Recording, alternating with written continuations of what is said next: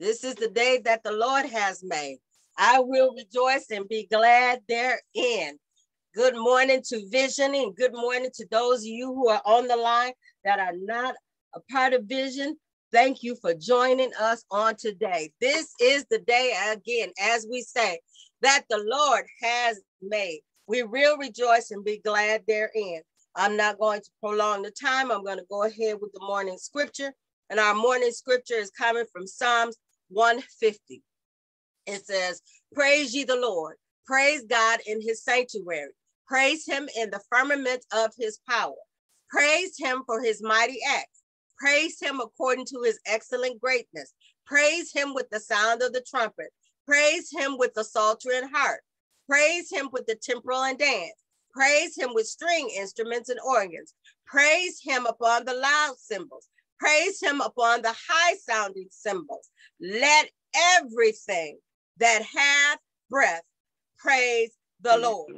Praise ye the Lord. Didn't leave anything out. Anything, we didn't leave anything out. So it says, praise him.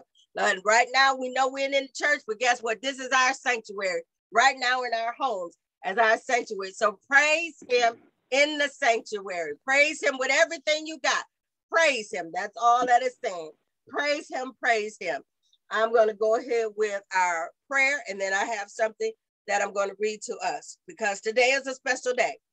So this prayer says, Lord, it can be easy for me to entertain thoughts that are negative or harmful to me, but I want to have a mindset that reflects your good and pure nurture, nature. So please protect my thoughts and renew my mind daily. And as you do, that remove all negativity and fill my mind with joyful thoughts. In Jesus' name, amen. So, as I said today, today is a special Sunday. It's actually Pentecost Sunday. This is what we say. So, as the scripture says, Acts 1 and 8, but ye shall receive power. And after that, the Holy Ghost is come upon you. So, happy Pentecost Sunday, everybody and just a little bit of, uh, of what Pentecost Sunday is. Pentecost is one of the great uh, festivals of the church, but many people, including Christians, may not know what the day, why the day is special, or why it is celebrated, or what it's celebrated. It marks the coming of the Holy Spirit on the disciples and their transformation from frightened and confused people to men who would face martyrdom for what they believe. Pentecostal is from the Greek word Pentecostals, which means 50. It's the 50th day after the Sabbath of Passover week, and in Judaism is called the Feast of Weeks, Leviticus 23 and 16. So nine things that we want you to remember about the Pentecost. Pentecost means 50s, 50. Pentecost Sunday occurs 50 days after Easter. Pentecost Sunday marks the day when the Holy Spirit descended upon the apostles. Pentecost comes 10 days after the ascension of Jesus Christ. Two is traditionally celebrated as White Sun. The word Pentecost has become more common in the UK, but traditionally the church celebrated it as Whitsun, which was White Sunday. It is believed that this is because it was a day for baptisms and those being baptized would wear white.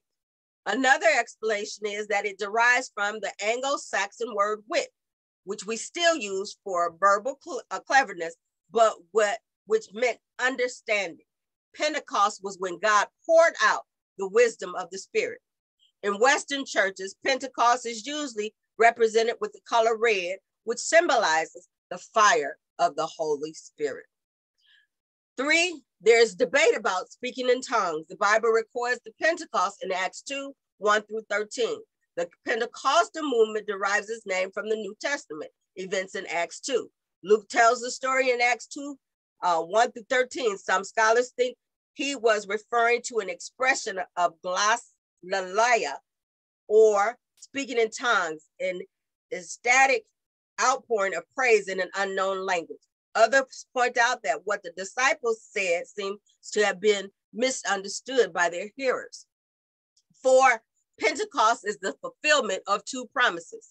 Pentecost fulfills Jesus' promises to send the counselor and spirit of truth in John 16, 5 through 15.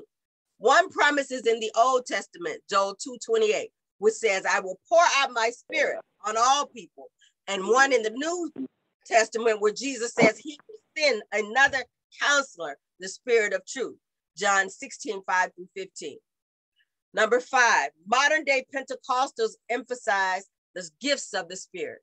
Pentecostals are so are so called because of the emphasis they place on the spirits, uh, the gifts of the spirits, particularly speaking in tongues.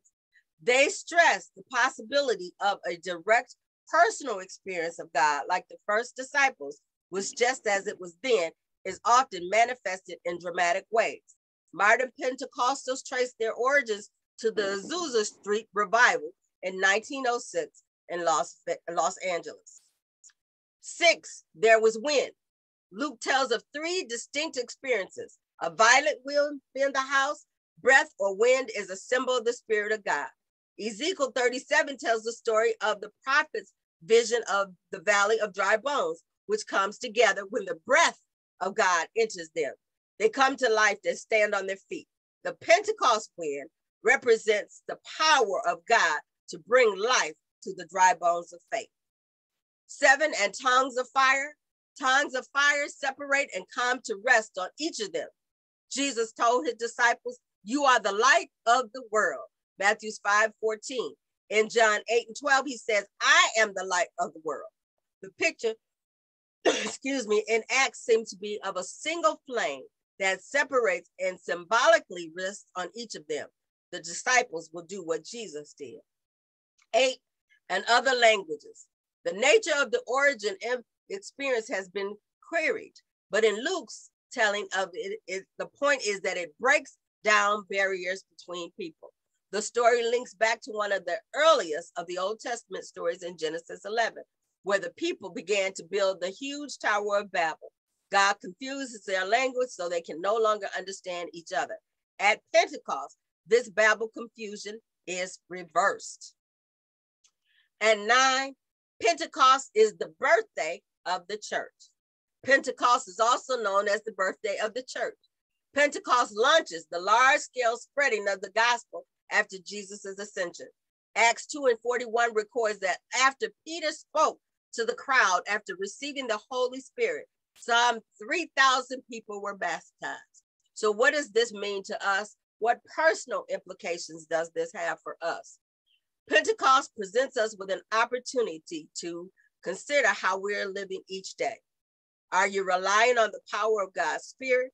Are we an open channel for the Spirit's gifts? Are we attentive to the guidance of the Holy Spirit? Is the fruit of the Spirit, love, joy, peace, etc., growing in our lives? Am I serving God through the power of the Spirit?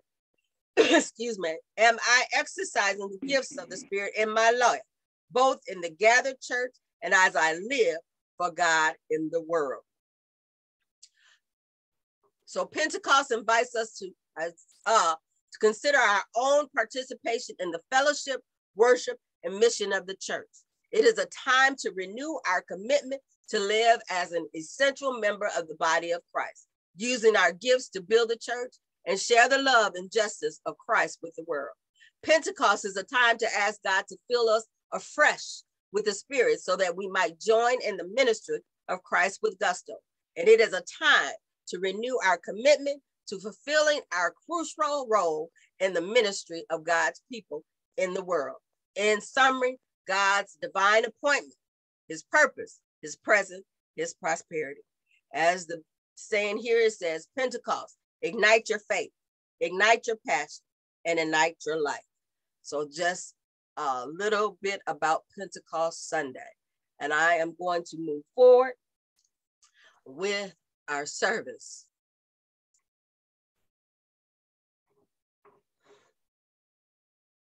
Good morning. Good morning. God bless you. Praise the Lord. Speak to my heart. I'll never go on my own. Praise the Lord. Praise the Lord today for who he is. Praise the Lord today for what he's done. Praise the Lord today for what he's going to do. And praise the Lord today for who he has made us. I am grateful and thankful for another day. Welcome to Vision for the World Ministries. Today, whose voice is speaking to us? I guess you took note of the theme of the songs. Whose voice is speaking to us? Amen. She did some throwbacks in there. Dr. Marbley has moved my spirit with with those. I, I, I saw the Canton spiritual lead singer. Amen. I love them. I, I absolutely love them. And I saw a young Kirk Franklin. Amen. In the videos. Praise the Lord.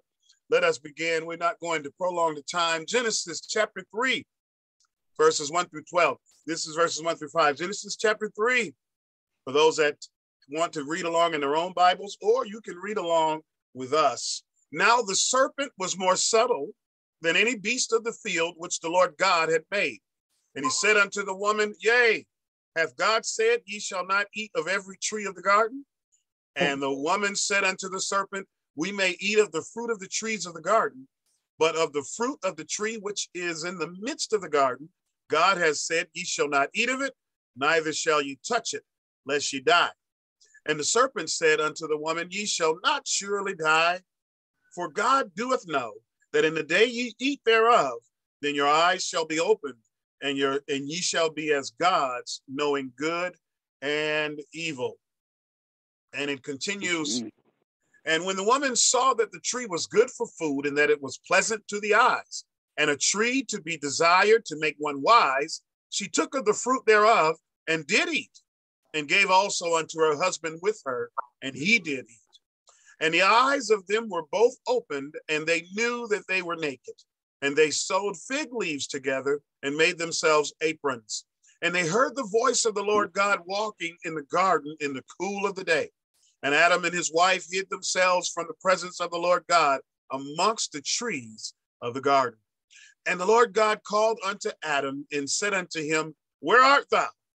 And he said, I heard thy voice in the garden, and I was afraid because I was naked and I hid myself. Hmm. And then it finally concludes, and he said, Who told thee that thou was naked? Hast thou eaten of the tree whereof I commanded thee that thou shouldest not eat? And the man said, The woman whom thou gavest to be with me, she gave me of the tree, and I did eat. Again, whose voice is speaking to us? As we introduce this and then we move through, I promise we won't be long. Many things attempt to speak to us throughout the course of development from childhood all the way to adulthood. What we internalize could become our reality.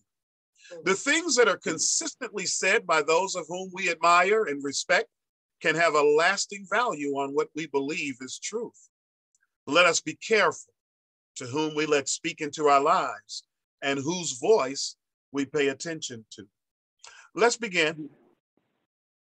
Uh, number one, uh, first point, and then we're going to fill in some of the verses if you all don't mind, is the origin, the origin of, of whomever and whoever speaks to us as humans and individuals on the earth. And first and foremost is our parents that should be the first voices of influence. That should be the first voices of influence. Unfortunately and sadly, it's not always the case in many of our lives and many of our upbringing. Some of us had very loving and caring parents, and and there may be some who did not.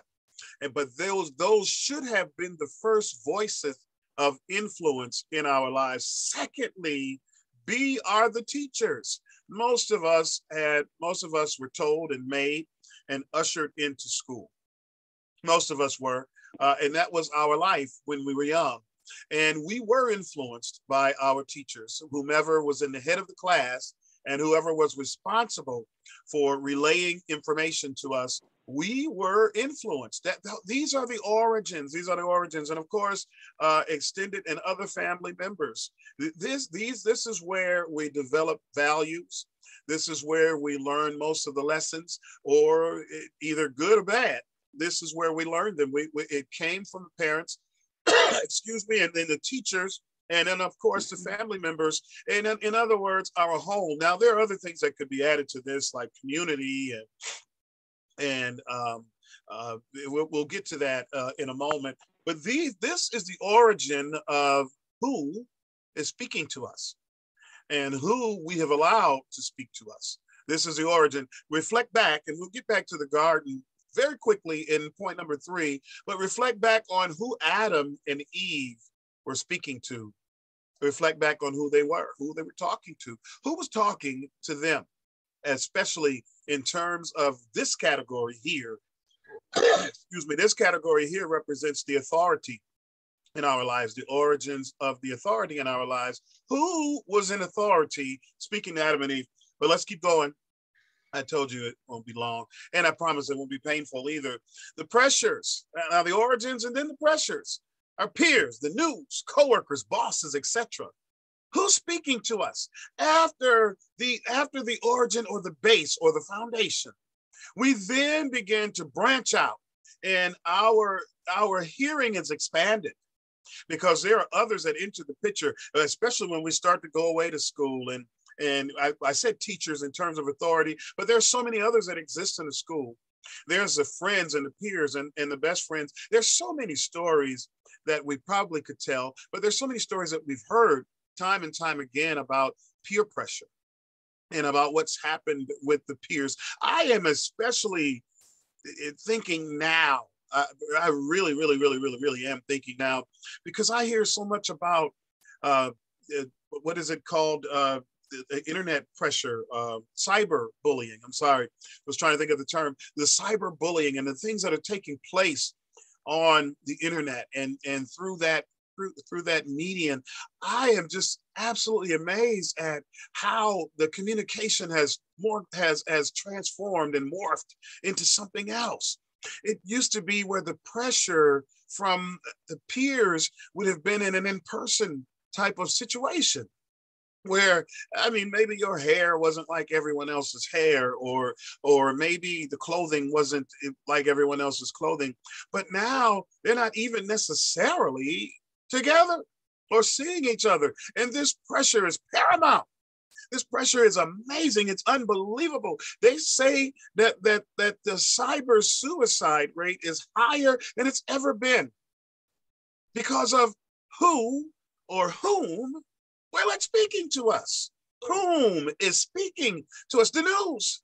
The news shapes and forms the, the situations and the circumstances around the world. It paints a picture if you will, with little snippets and, and little stories and little spins and, and, and little tucks here and little clips and nicks there.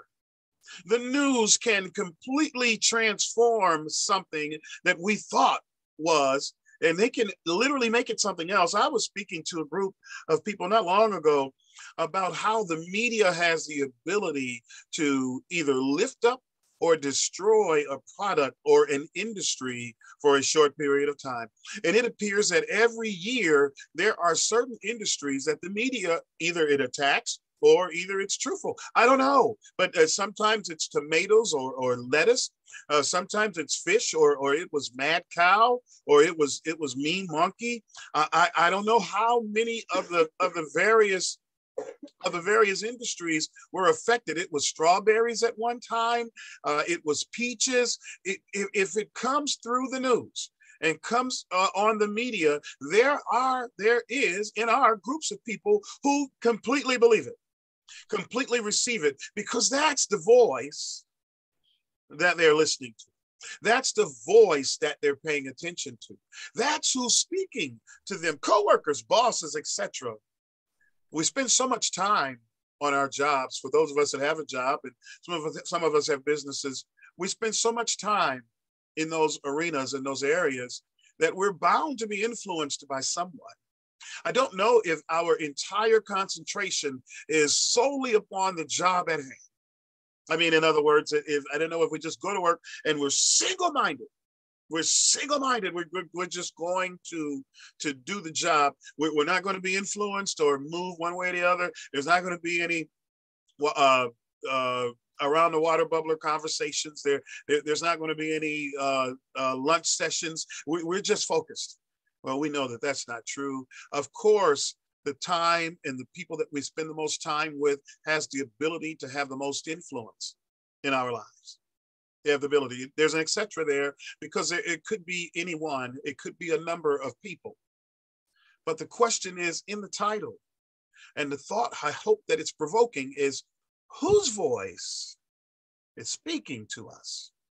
And when I talk about speaking to us, I'm not simply saying something that we're listening to, something that we're hearing, but a voice that's penetrating, a voice that's actually getting through, a voice that's actually causing us to matriculate, causing us to consider, causing us to ponder. What voice? Is it the preacher's voice? Does it happen with church? Is it a song? Excuse me. Is it on the internet? Is it on uh, Facebook or Twitter, uh, Snapchat, uh, Instagram? I don't know. All, all of those different things. What voice? Whose voice is literally speaking to us? Let's let's go to the next point. We're almost done. We're at church. I said, tell your neighbor, you're going too fast. Tell your neighbor, he's almost done. The enemy described, the enemy is the point number three. Let's talk about, excuse me, let's talk about who Eve and Adam were hearing from. The enemy was is described in Ezekiel chapter 28, verses 12 to 16. This is a description, um, if you will, of the devil. Uh, here's his description. Son of man, take up a lamentation upon the king of Tyrus, and say unto him that saith the Lord God, Thus saith the Lord God, Thou sealed up the sum, full of wisdom and perfect in beauty. That's how he looked. Thou hast been in Eden, the garden of God. Every precious stone was thy covering. This is what he was covered with the sardius, topaz, and the diamond, the beryl, the onyx, the jasper, the sapphire, the emerald, and the carbuncle, and the and gold, and the workmanship of thy tabrets. In other words, thy thy uh, pipes, and of thy pipes was prepared in thee in the day that thou was created. Now he was created this way, and this is how he looked. He was beautiful, and it sounds like he had just a wonderful melodious voice. Now, who wouldn't love to? Well, we all do. I, I mean, every every part of entertainment takes this particular um, description, if you will, or this formula, if you will, for description. They try to make the entertainers as pretty and they try to have them sound as good or as pleasant as necessary. Because uh, let's all face it, uh, many of us are, are, visual creatures, especially men, and it, it's it's you can look at a beautiful singing person with with just a melodious, just a smooth voice. Let's finish it. Thou art the anointed cherub that covereth, and I have set thee so. Thou wast upon the holy mountain of God, and thou hast walked up and down in the midst of the stones of fire. Thou wast perfect in thy ways from the day that thou wast created, till iniquity was found in thee. 16 verse says, By the multitude of thy merchandise, they, they have filled the midst of thee with violence, and thou hast sinned. Therefore, I will cast thee as profane out of the mountain of God, and I will destroy thee, O covering cherub, from the midst of the stones of fire. Now, he the, the devil was given eh, we're calling him the enemy in this point, but he was given all of his ability by God. He was created perfect and he was created beautiful and, and he was created with a great ability to lift up God in praise. His pipes were prepared. It says pipes was prepared the day it was created. So he was created talking, created with this great ability. And he was a covering cherub. He was an angel and he still is an angel. He's just a fallen angel. He, he's an angel, and he was a covering cherub. He was designed and made to lift up God and to give God glory. But then it says that it says that by the multitude of his merchandise that he was filled with violence. That things were things were discovered in him, found in him that shouldn't have been, and that he sinned. And then God told him, "I'm putting you out, getting out of the mountain of God, and I'm going to destroy you." Now that's interesting. Now listen, that's the enemy described. Excuse me. Now let's talk about the enemy discovered. We have to go to Isaiah for that. Isaiah, the 14th chapter, 12 through 15 verses. I'm almost done. I promise we're almost done. Almost done. The enemy discovered. Now he was described by Ezekiel. His discovery was given to us by Isaiah. Isaiah uh, uh, 14, 12 says, How art thou fallen from heaven, O Lucifer? son of the morning. How art thou cut down to the ground, which dideth weaken the nations? For thou hast said in thine heart, I will ascend into heaven, and I will exalt my throne above the stars of God. I will sit also upon the mount of the congregation in the sides of the north. I will ascend above the heights of the clouds. I will be like the Most High. Yet thou shalt be brought down to hell, to the sides of the pit. Now he was discovered. Isaiah told him that he was discovered. It was his name was Lucifer, which means uh, son of the morning or bright morning star. That was literally his name, and he was he was described in Ezekiel. So we know what he looks like, we know what he sounds like, and now we know what happened to him because he got this notion, this idea that he was going to ascend and become God, that he would be on the mountain, that he would sit on the throne. And because of it, God sees that and deems that as iniquity. And because of it, God put him out, kicked him out. Now, the question is before we go to the conclusion, see, see, that wasn't long at all. That wasn't even painful, was it? The question is, what does this have to do with Adam, Adam and Eve? right? That's the question. it, it is, it, it, and it's a it's a legitimate question. What does it have to do with Adam and Eve?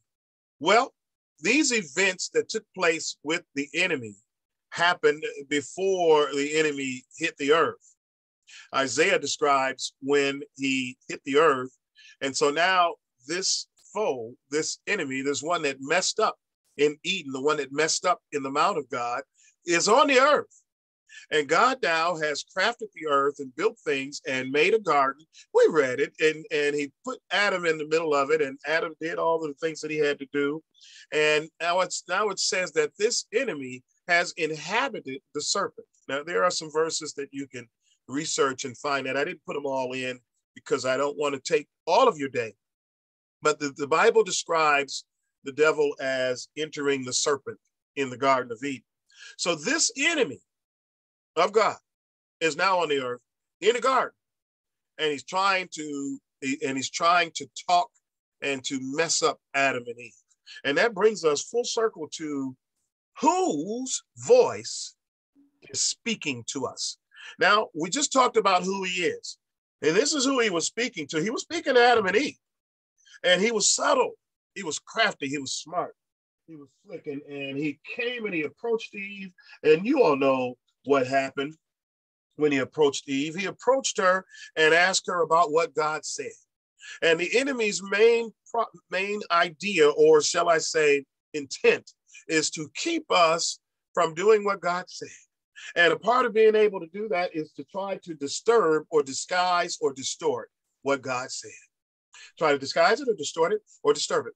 Try to change it and hoping that we didn't really hear it well hoping that some way and somehow we didn't really listen carefully to God, so that He's hoping that we'll listen to Him, hoping that we'll listen to Him. So this is what happened. But the fruit of the the third verse says, "But the fruit of the tree." Which is in the midst of the garden, God has said, You shall not eat of it, neither shall she touch it, lest she die. Now, the enemy knew then, as he was speaking to Eve about what God said about eating in the garden and the trees, he knew then, I think he had an idea then, uh oh, I got her because I heard her say something that God didn't say. So I'm pretty clear and sure that she didn't listen carefully. Hmm. I'm pretty clear and sure that she's a little bit confused as to what's going to happen. So, because she already has this confusion, because she already has this misinformation, I can just simply add to it. I can agree with a part of it and then add something else to try and take her off pace, off course. And here's what Here's what I read a little bit earlier. From the beginning, Satan has Satan has tried to undermine God's people by undermining undermining God's word. He can undermine just as effectively by getting us to neglect God's word as by getting us to doubt it. Sometimes it's not a matter of trying to get me to doubt or I mean to neglect what God said, but to get me to doubt it to get me to think that maybe it's just not clear. And then I have to really start considering who voice, whose voice am I really listening to? And who is this that's trying to clarify what God said? And I'm not quite sure within myself, and you touch neighbors and he rolling now, but I, I'm not quite sure within myself why Eve and Adam didn't say, well, just hold up, you just hang in there. Because I think you're wrong. I don't think that's what God said, but he'll be here pretty soon.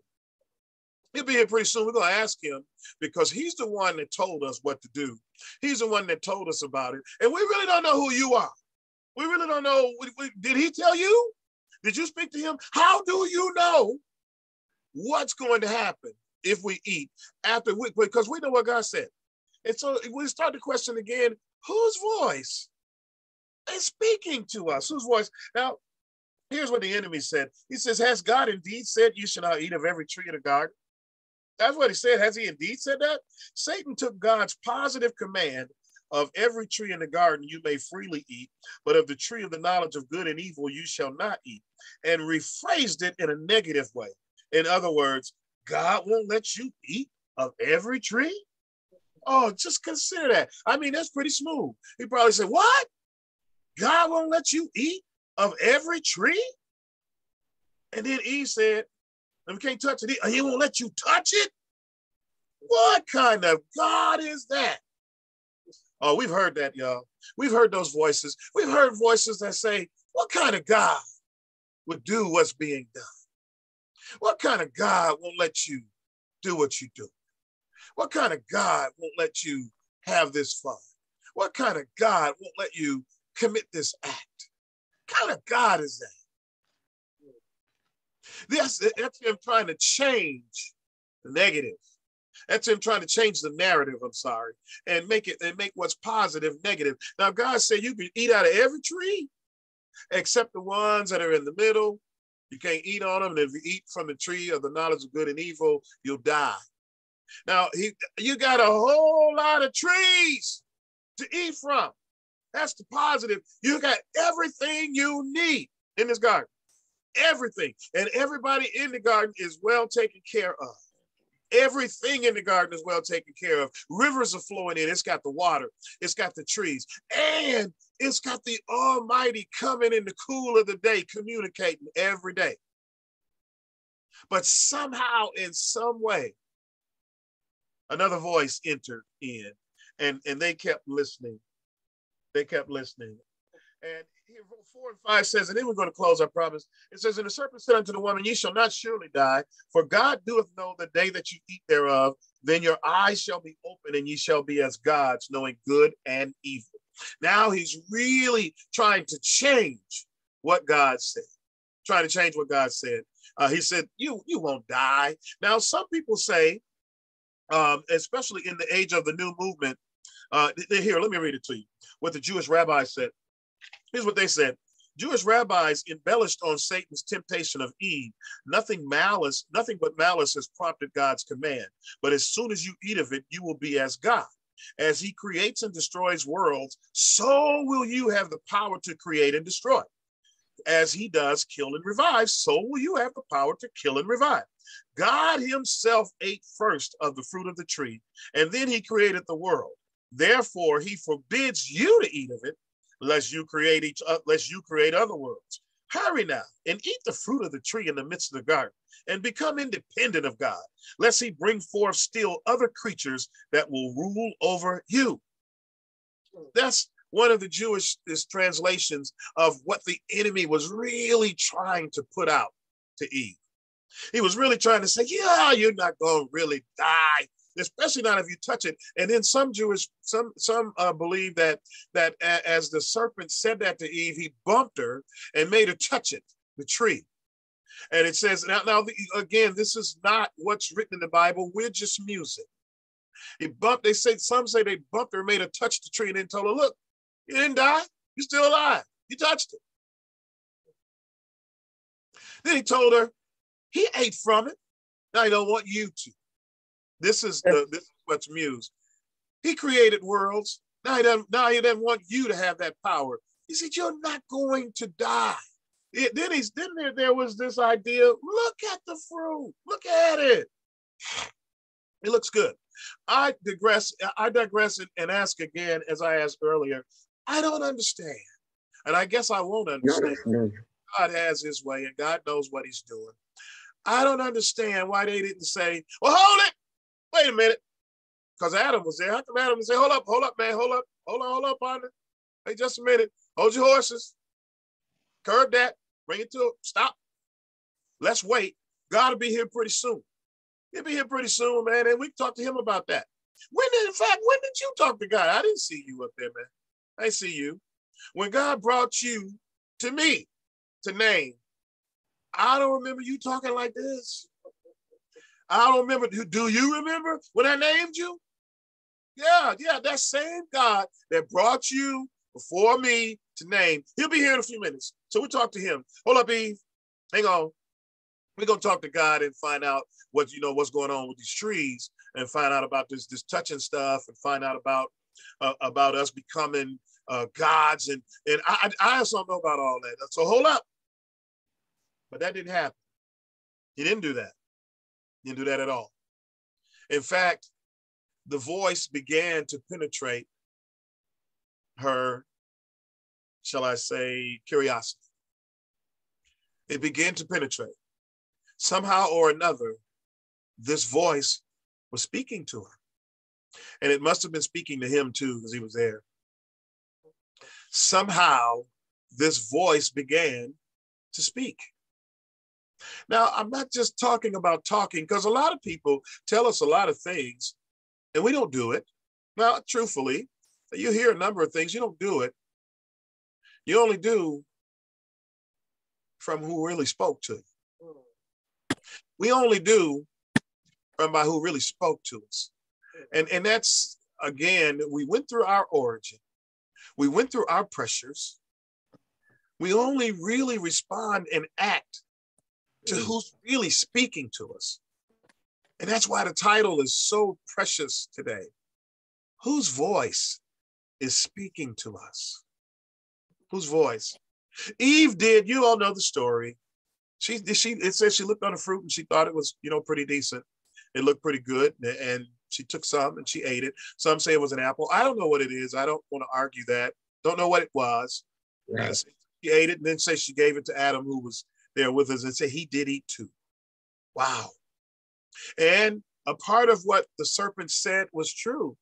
Their eyes did open, but their eyes opened to the sin that they had just committed. Their eyes opened to their inadequacies. Their eyes opened to their inabilities. Oh, they remembered that God said, don't do it. But they did do it. Let me read you something else, and, and I promise I'm going to the close. And you can tell your neighbor that's the third door. Yeah. The New Age, the New Age movement and desire to be God are just as strong as. Now, first, I'm, I'm sorry. The, the goal of the goal of becoming God is the center of so many non-Christian religions, including Mormonism. Listen, but in the but in our desire to be gods, we become like Satan, who said, "I will ascend into heaven. I will exalt my throne, my throne above the stars of God. I will be like the Most High." Instead of being like Jesus, who became as a servant. The New Age movement and the desire to be God are just as strong as ever. Now, there was a survey in 1992. According to a 1992 survey, as many as 12 million Christians can be considered active participants in the New Age movement, and another 30 million are avidly interested. Now, this was in 92. Imagine how large that number is now. If all these people were brought together in a church like organization, it would be the third largest religious denomination in America. And guess what, family? Vision, it is. It is now considered the third largest religious uh, uh, organization in America. More than 90% of the describers to the New Age magazine are college graduates, compared to half the general population. Now, get this last little bit in 1995, New Age influence made its way all the way to the White House. New Age author Marianne Williamson, writer of A Course in Miracles, guru to many of Hollywood's spiritual seekers, spent a night at the White House as the personal guest of Hillary Clinton. And Anthony Robbins, motivational guru and king of late night infomercials, consulted with President Clinton at Camp David. Robbins is also recognized as a leader in the New Age movement. Just some things that we may not have known about what's really happening and how voices and the word of God is being distorted by various voices. That the, this distortion today is not new. It was distorted in the very beginning. It was distorted in the third chapter of Genesis. And because of it, because of being susceptible to another voice, because of being susceptible to another voice literally getting a chance to penetrate and speak, it caused the fall. And man's fall was fast. After they did that, we read the scriptures. After they did that, Adam and Eve knew that they were naked. It says that they knew that they were limited. They knew that they were sinful and and they saw things that they weren't determined to see. And so it says that they decided to cover themselves. And it says that god came in the cool of the day like he always did. And they were hiding. I don't know. I don't know how you hide from god but they were they were attempting to do that. And god called out to guess who? Adam. Yeah he called out to adam didn't call out to Eve, or she, actually she wasn't named yet, but she would be named a little bit later after the curse. He called out to Adam. And Adam used the classic because God asked him clearly, Adam, where are you? I mean, I'm sure that was rhetorical. God knew where he was. I guess he wanted Adam to think of where you are. And Adam said, I hid myself from you uh, because I was naked. And God said, the proverbial question is, Adam, did you eat from that tree? Y- y'all can just imagine that. Boy, what? Did you eat from that tree when I told you not to? And Adam said, Yeah, yeah, I, I did. I did. Now my stomach is all hurting. I see some stuff, man. I don't, I, I, I, don't want to see this. Take this back. I, I don't want to see this. My stomach hurting. I'm naked. And God said, Who told you you were naked? And God said, How'd you do this, Adam? And Adam used the proverbial excuse that we all use. Adam told God, It was that woman you gave she did it. She was one. And it was essence, he was telling, in essence, he was telling God, God, you really did this. I was all right until you put me to sleep. I woke up again and and now look at where I am now. I was I was good before that.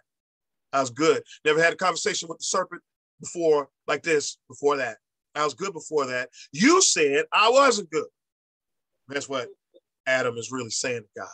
You, it was that woman that you gave me. You know, in other words, God, you need to go back and think about what, what you gave me. Again, God did begin to deal with, with the woman. He dealt with the serpent and he dealt with Adam. God kept his word in the whole process. And he gave, made us some promises in the middle of that process. My question is, whose voice is speaking to us? Now that we know, we know clearly what happened in the garden. So I realize that I'm not giving you revelation, nor am I attempting to. Just simply reminding us of who they were, who was speaking to them, so that we can be careful today. So that we can be very careful today. It's crucial and critical now that we really hear from God. It really is. It's crucial and it's crucial now that we really yield to God, not just hear from Him, but yield to Him our actions have to catch up with our faith now because of what's happening on the earth. Uh, from the things that I see, in my conclusion, it says, let us always remember it is God's voice that matters. Mm-hmm. It really is. Mm-hmm. No other voice matters. John 10, 4 and 5 says, My sheep know my voice, and a stranger they will not follow. The fourth verse says literally, and when he putteth forth his own sheep, he goeth before them, and the sheep follow him, for they know his voice.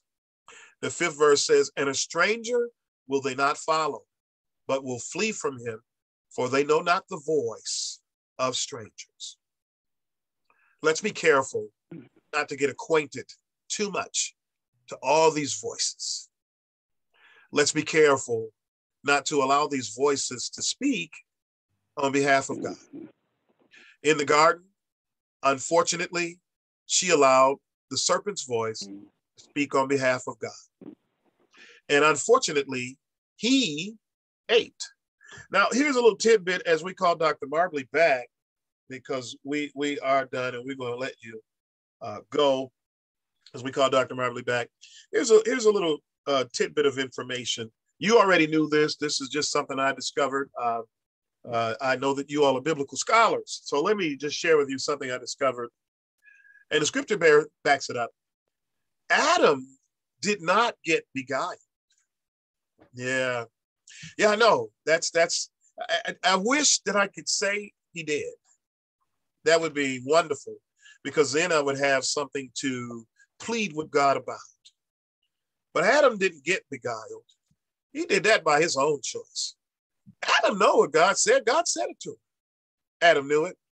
He was sitting there. I don't know how long he was sitting. I don't know when he got there. I mean, I, I have no idea. I don't know if, if Eve and the serpent was walking around for a while and chit chatting and, and then came up upon Adam and Adam was chilling and Eve stopped there. And I, I don't know. I don't know if Adam was there the entire time, but Adam was clear oh on what God said. Whether Eve was confused or not, he wasn't. And when she ate, he could have let her be the only one to eat, but he didn't.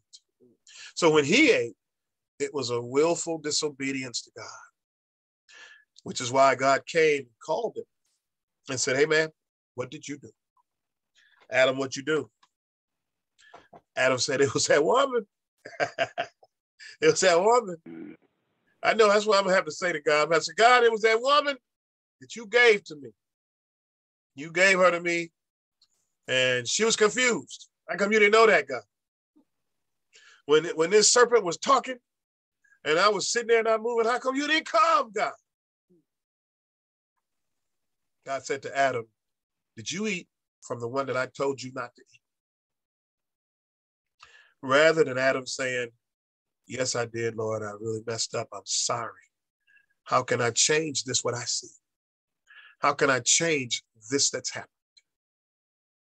Well, at that point, at that time, I guess repentance wasn't necessarily a part of the structure. But it is now. It is now. So, whatever voice that we're hearing, and whatever voice that we've heard, and whatever voice that might have moved us or maneuvered us to a mistake, we can repent and come back to God's voice we can repent and get restored with God. And then we can begin again to hear his voice. For this time, he's not just coming in the cool of the day, but he came by the way of the cross. And he inhabited us after that, after we accepted Christ.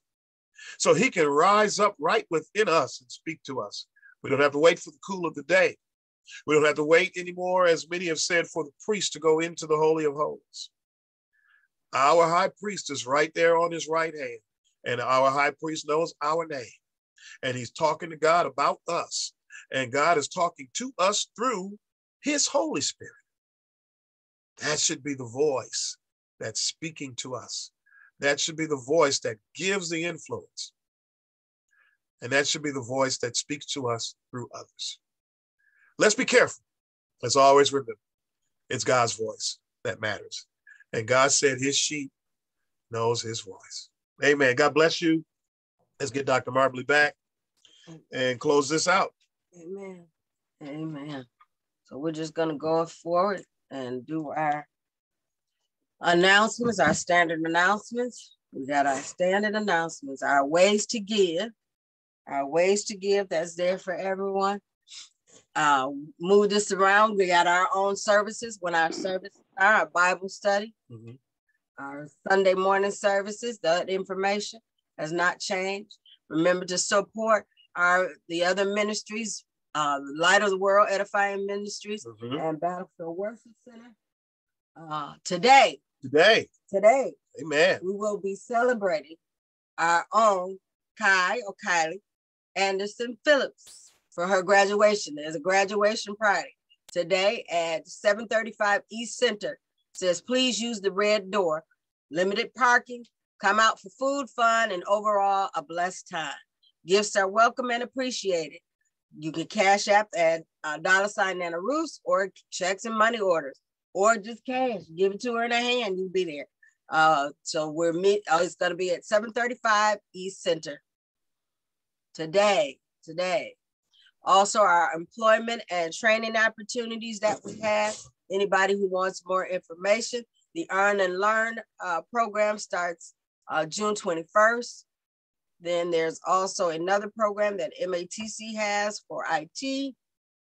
Uh, other employment things, Goodwill locations have employments on Tuesday. Amazon have a, a Goodwill meeting together to have some type of virtual uh, or some on-site, that's on-site, mm-hmm. uh, like application type things. Let's see, Maximus and Franciscan uh, uh, medical care, those things. Children's is hosting a hiring, uh, virtual hiring event on the 17th. Uh, through five points, we have aviation exp uh, exposure and mentoring. So it looks like they're telling you a hands-on experience, an introductory experience into drones and building engines and those kind of things for uh, uh adults or not adults, for young people ages 13 through 18. That is June 11th at 8 a.m. If you want to register for that, you register on Eventbrite. Eventbrite. Look for aviation exposure and mentoring, or you may call at 414-265-5546 if you need more information. Okay. So there's things for the young people for the summer. Also, the Milwaukee County Parks is hiring. Michelle's is hiring, or Michael's is hiring. Um, let's see, employment, Milwaukee Bankworks is having a training program. Let's see, other resources we have, other resources are energy assistance, but then we have, you can become lead abatement certified. Uh, no work experience, it's a 12 week uh, uh, apprenticeship program. So there's a stipend that you can get. So if anybody wants this information, take your pictures, and get that info, or snapshots or whatever it is, snapshots, whatever it is, mm-hmm. get it. Our affirmations for the month of June. I am forgiven. God pours out excellent, extravagant grace to me. Sorry about that. I am holy. I am dearly beloved. I am rescued from my past. My future is secured. My identity is in my salvation. This truth is my inheritance. I let go of negative thoughts about myself and embrace abundant life. I release limiting beliefs, knowing I mm-hmm. have what it takes to be successful. I am never alone. I'm accompanied by God at all times. And we have the scripture references there for you to follow up. Please take note of number seven. Please take number note seven. of number seven. Huh. I let go of negative thoughts about myself and embrace abundant life. So see Philippians 4, 6 through 8 for that. Amen. Are there any praise reports or anything? Kylie, Guy. Okay. Amen. Amen. Beautiful. Amen. Graduation and moving forward in life. Amen. Good morning. Good morning. Go ahead. Can we um one pray for Sister Dolores Glover Smith. She's having some issues with uh, you know her heart and she's a little swollen today. So we're trying to mm. hope she doesn't have to go to emergency room. Okay. All right. Amen. Yes, we will. We will and then for us here over here in the Turner's household, we did a mortgage burning ceremony with uh, Habitat for Humanity yesterday. And um, that was a beautiful feeling. I know, that's, that's right. right. So my husband was like, well, what is that? I told him, to be honest with you, I've only known churches to do burnings. I haven't really known homeowners to do it. Mm-hmm. But it was a beautiful experience. What a blessing. And I, and I pray that everybody have a wonderful rest of the week. I'm back at work full time now. So okay. it's pretty good, I guess. That is a praise report. That mm-hmm. a praise report. That is. And then let's keep praying for our city and our nation because we already know what's going on. We just got to keep praying. Amen. Amen. Amen. That's a beautiful praise report. Hello, that's hello Amen. somebody. I love it. Amen. I do. I love it. Anyone else? We'll have to pray for Sister V. Yes, we will. Yes, we will. Okay. So before we go, we got Pastor got one song. Uh here we got a benediction. So you gonna pray first? Okay. Amen. Let's let's let's uh look to the Lord in prayer. Excuse me, Father, who are capable and able of all things. We you said we could come to you for anyone and on anyone's behalf. And we come now, Lord, for our sister. We pray, Lord, that you take down all swelling. Oh God, that you just touch with your hands of healing. We are reminded that you said on the cross that by your stripes we are healed. And we pray now that that would apply right mm-hmm. now unto her life. And we're not selfish, but unto all of us. We need it.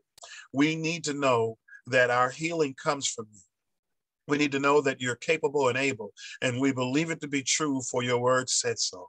And God, we are responding now to what your word says that we're to call on you for you you are concerned about us. Your word says to cast our cares and our troubles on you, for you care about us. And you told us, Lord, that if we were burdened and heavy laden, mm. we could turn to you and find mm-hmm. rest. You promised that your yoke was easy and that your burden is light. And we trust you now, need you now. Mm-hmm. We know we can't make it without you. Have your way now. Remember Sister V. Visit her, touch her, heal her. Oh God, we pray that all things that she can't do, that you can for you're an omniscient God mm-hmm. and you're an omnipresent God. And there is nothing outside of your ability. So we pray now, Lord, in the name of Jesus, that you touch her and that you cause healing. And we pray, Lord, that her body would line up according to your voice and according to your word. In Jesus' name, amen. Amen. Yeah. Mm-hmm. we're going to play uh, one song. Benediction. As a benediction song. Amen. And then that'd be all. We pray that God continue and richly bless you. Amen. Right. Just want y'all to go out and be joyful. Be joyful. Today. Amen. That, that the Lord has made. They're going to be joyful. So go out and be joyful. Amen. Amen. Don't let the clouds get in your way. Amen. Y'all know how you felt. Like you said, you know how you felt when you were graduating, when there was that that last day. You woke yeah. up on the last day of school. free. Hello. or you got that new pair of shoes. All right. That's all he said. Be joyful, just Amen. like that. Amen. God bless you all. All right. We got a party. Yeah, we got a party. All right. party. All right. Two, Love. two o'clock. Love you all. Love you all. Uh-huh. Bye-bye.